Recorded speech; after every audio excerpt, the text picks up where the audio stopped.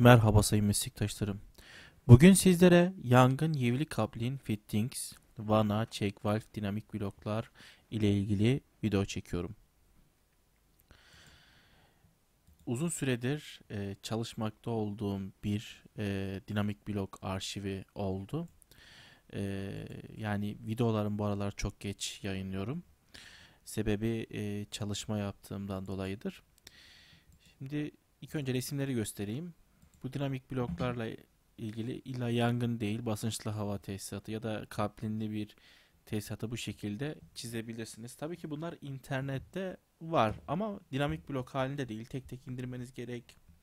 isim vermeniz gerek. Yani benim buradaki yaptığım e, hizmet dinamik blok haline getirmek. Bunları internette bulabilirsiniz. Şimdi arşivi bir gösterelim. Arşiv şu şekilde. Arşivi açtık. Arşiv bu şekilde 270 adet 269 da olabilir. Yanıldıysam kusura bakmasınlar yani o sayılara takılmayın. Şimdi neler var? Ee, yivli check valve, işte ıslakaların vanası, yükselen milli vana, işte bu şiprikleri sembolik koydum. Bunları işte internetten daha detaylı bulabilirsiniz. Bunlar çok önemli değildi. Yani e, özel bulursunuz diye şimdilik öyle sembolik koydum. İzinebilir kelebek vana, işte yivli flanş adaptörü, e, esnek veya rigid kaplanı tek yaptım. E, artık özel bir durum varsa e, yani sabit çok az olur diye düşünüyorum ya da diğeri onu özel olarak saymanız gerekir. Yevli dirsek 45, işte mekanik T, işte yevli, mekanik T dişli, e, mekanik T, ondan sonra redüksiyon falan filan e, kuruva T şeklinde bu şekilde bir arşiv oluştu. Bu da örnek bir çizim. Bu çizimi yaparken izometrik konuma geçersiniz. Tüm çizimleri bir izometride kopyalarsınız bu şekil. Buradan alıp buraya getirdiğinizde çok rahat bir şekilde çizebilirsiniz. Evet dinamik blok ne diyecek olan arkadaşlar var ise onlar için şöyle bir örnek şey yapalım.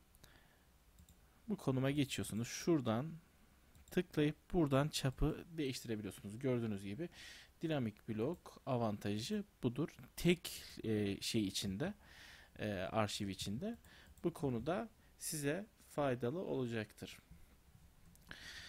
Ee, burada örnek bir tesisatımız var. Ama tabii ki burada şu an e, şey aramayın ne diyorlar ona. Yok burası yanlış burası. Sadece örnek bir çizim bu.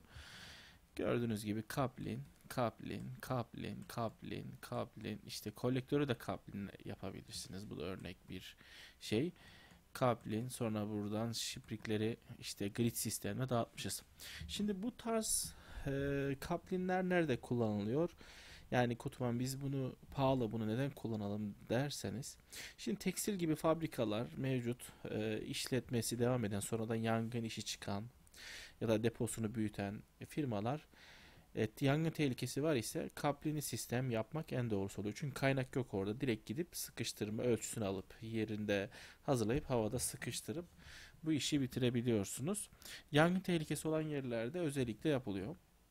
2 inç aşağısı dişli, 2 inç yukarısı e, şey e, kaplinli yapılıyor genelde. E, umarım faydalı olmuştur. E, çok uzun bir video olmayacak. 4 dakika 5 dakikalık bir video olacak. Hayırlı olsun. Katıl üyelerine e, özeldir bu indirmelerde destek verenlere. Eee YouTube'da topluluk sekmesinden indirebilirler. Ee, indirmek isteyenler. Destek verenler için teşekkür ediyorum. Samimiyetin gölgesinde hiçbir kalp üşümez. Var olun, sağ olun diyorum.